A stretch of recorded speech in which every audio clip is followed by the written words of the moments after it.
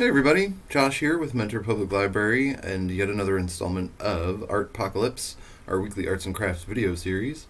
Here to show you guys something cool, so let's get started. Okay, so for today's craft, I'm going to show you guys how to make painted rocks. All you're going to need for this is a bowl of water, a bunch of nail polish, or one thing of nail polish if you're just looking for monochrome um, but I like a lot of colors. It comes out looking kind of tie-dye looking, so I think that's pretty cool. So the more colors, the better kind of here.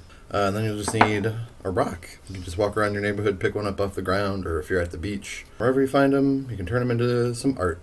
So all you're going to do, take your nail polish, take the brush part out, and then just carefully pour a few drops into your bowl.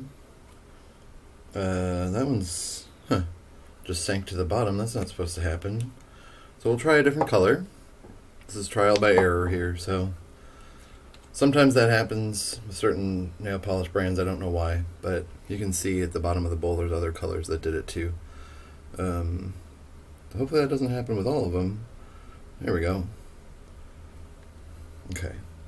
So it should just hang out on top of the water like that. You can see the different layers there. And just keep adding colors. And you can add as many or as few drops as you want. And just keep going.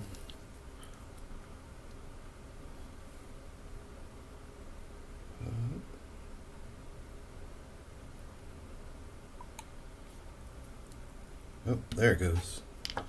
I was waiting for that to happen. See how it just like split open, like the colors are starting to spread out across the surface of the water? Um, that's what's going to capture the whole stone in there instead of it just pooling together. This one's a bit runny. Alright. I'll try this blue. Little blue guy.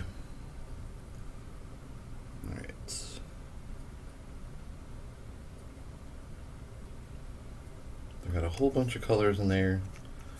I tried one earlier. Can you see my thumb? You're going to want to wear gloves. Um, this is a professional hazard, me getting paint and nail polish and stuff on my hands. Uh, but you guys will probably want to wear gloves, so it's easy cleanup. So then once you have all your colors in here, um, all you're going to do is just take your stone. Let's see if I can minimize my fingers touching it. And then just dunk it in and kind of drag it around it'll start picking up all those colors.